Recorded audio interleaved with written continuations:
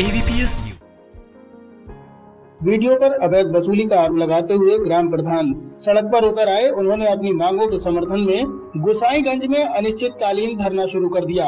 ग्राम प्रधानों का कहना है कि जब भी वह अपने क्षेत्र के विकास कार्यों को लेकर खंड विकास अधिकारी के कार्यालय जाते हैं तो उनसे हर काम के बदले में पैसे की मांग की जाती है।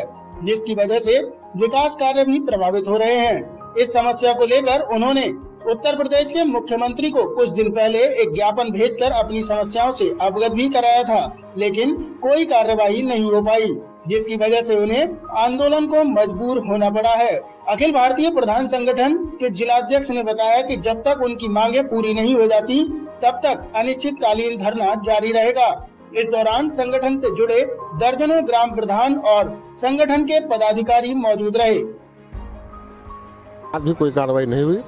मजबूर होकर के आज प्रधान संघ यहाँ धरने पर बैठा और तब तक बैठा रहेगा जब तक इसके खिलाफ कार्रवाई नहीं हो जाती। जी आप क्या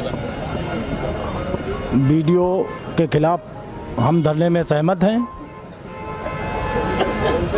ग्राम सभा कासिमपुर बिरुआ प्रधान अशोक कुमार वर्मा प्रधान संघ महामंत्री ब्लॉक गोसाईगंज। ये थे हमारे साथ में प्रधान संगठन से जुड़े हुए तमाम सदस्य और प्रधानगण जिन्होंने बताया कि वीडियो को लेकर के काफ़ी कुछ शिकायतें हैं और यहाँ पे इन्होंने मुख्यमंत्री जी को ज्ञापन भी दिया था। अभी तक इनके ऊपर कोई कार्रवाई नहीं हो, हो पाई है।